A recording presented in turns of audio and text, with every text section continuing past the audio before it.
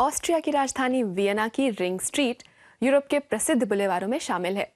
इसे डेढ़ सौ साल पहले सम्राट फ्रांस योसेफ प्रथम के शासन में बनाया गया था। आइए देखते हैं कितनी बदली है रिंग स्ट्रीट इन डेढ़ सौ सालों में।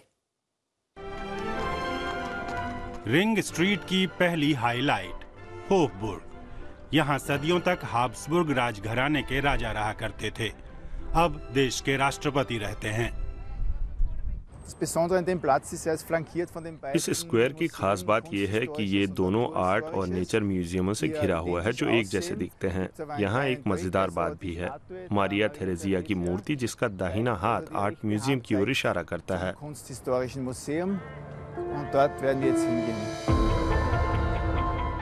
आर्ट हिस्ट्री म्यूज़ियम को रिंग स्ट्रीट के महत्वपूर्ण स्मारकों में गिना जाता है। इसका निर्माण सम्राट के काल में हुआ था और इसमें सात हज़ार साल की कलाकृतियाँ जमा हैं। आर्ट हिस्ट्री म्यूज़ियम में वैभवशाली हॉल की सीढ़ियों से जाना ये हर बार अद्भुत अनुभव होता है ये भव्यता। असली खजाना यहाँ ऊपर है। अगर आप यहाँ घूमें तो गुस्ताव क्लिम्ट की छत में बनी अद्भुत चित्रकारी देखते हैं।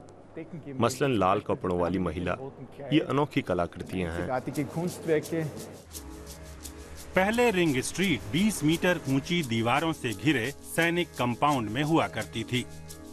अठारह सौ सत्तावन में सम्राट फ्रांस योसेफ ने इलाके को बनाने का आदेश दिया और ये वियना का सबसे बड़ा प्रोजेक्ट बन गया। वियना की रिंग स्ट्रीट सैकड़ों साल में समय के साथ बहुत बदली है। पहले यहाँ संभ्रांत और उच्च वर्ग के लोग टहलने आया करते थे। फिर ये सब के लिए खुल गई और अब तो यहाँ बहुत ज़्यादा ट्रैफ़िक है। लेकिन साइकिल के अच्छे रास्ते भी हैं और अभी भी यहाँ टहला जा सकता है। शहर के लोग हों या बाहर के पर्यटक रिंग पर टहलना सबके लिए ज़रूरी है क्योंकि अगली सड़क के मुहाने पर गैस्टनर की बेकरी है। 1847 से यहाँ खास पेस्ट्री मिलती है जिसे कभी सम्राट भी खाया करते थे।